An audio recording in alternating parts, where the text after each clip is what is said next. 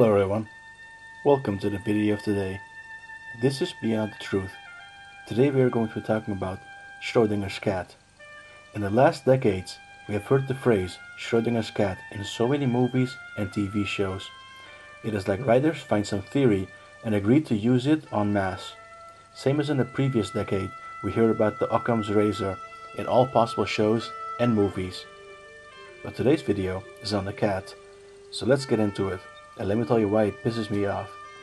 Schrodinger's cat is a thought experiment, sometimes described as a paradox, devised by Austrian physicist Erwin Schrödinger in 1935. He was one of the leading scientists of his time. He came up with this experiment to try to explain quantum physics to the masses, to make it understandable. So they think, yes, I say think, because that is what theories are. Every time that you are citing a theory, you are just citing what someone thinks, not actual proof. So they think that atoms, protons, or neutrons, etc., can be in multiple states at the same time, but when they are observed, they are only in one state. Even if that turns out to be the case, drawing parallels with real life objects or animals, in this case, is just silly. Cats cannot be in multiple states at the same time. They can be either dead or alive. It has absolutely no bearing if you are watching them or not. It is not just this thought experiment I have a problem with. All such thought experiments, like all of you remember the old one if a tree falls down in a forest and if there's nobody to hear, does it make sound? Of course it makes a sound.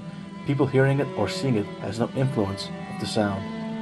Even Einstein's thought experiments are flawed.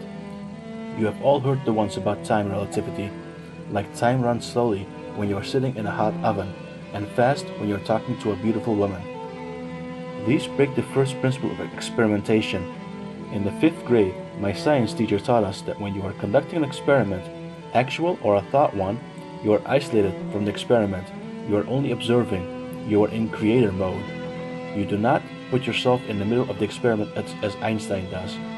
Meaning, if you are conducting the experiment properly, you will have two isolated systems you will put one guy to sit on a hot oven, and you will put another guy to talk to with a beautiful woman, and you will observe. And guess what? From your perspective, time flows normally. What is different between the two is the perception of time as seen by the guys in the experiment. Time does not flow slow or fast. They just perceive it like that, depending on outside stimulus. We all have a notion of the great scientists from the last 200 years and we keep studying their theories, and is not allowed to question anything, while most of those are just things that people thought, hey, wouldn't it be cool if it was like that? Take wormholes for example. All that that is is theory. Wouldn't it be cool if these were tunnels that run through space and we could travel to them to stars? Not based on anything.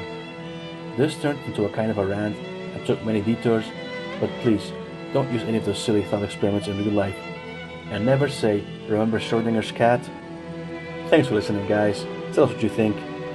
And we'll see you next time.